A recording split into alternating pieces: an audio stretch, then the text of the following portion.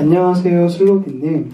저는 몇 달 전에 제 동생을, 제 동생을 먼저 하늘나라에 보냈어요.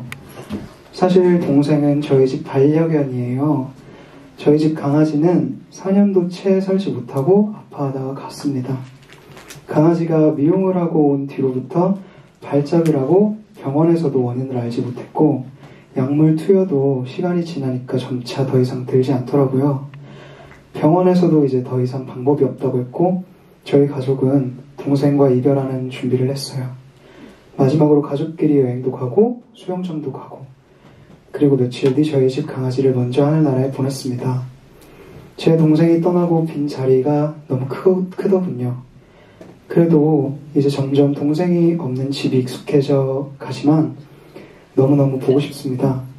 동남아 일찍 천국에 간 만큼 그곳에서 편히 쉬고 있어 하늘나라에서 만나자 동남이를 너무 사랑하는 정섭이 형이 어,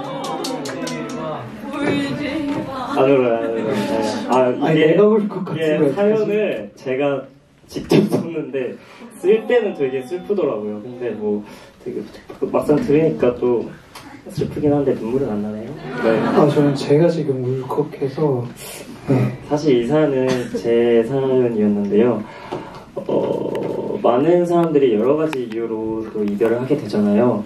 어, 세상에는 쉬운 이별이라는 건 일단 없는 것 같은데 그 아픔을 이겨내는 데는 그냥 그 순간에 익숙해지는 일이라고 생각을 해요. 그래서 어, 다음 곡을 들려드리기 전에 저의 이별 이야기를 또 들려드렸는데 여러분의 각자의 기억을 되뇌이면서 좀 더 공감할 수 있는 시간이 됐으면 좋겠어서 제 사연을 들려드렸어요. 네, 그래서 다음 곡 이별하는 일 그리고 잘 지내 들려드리겠습니다.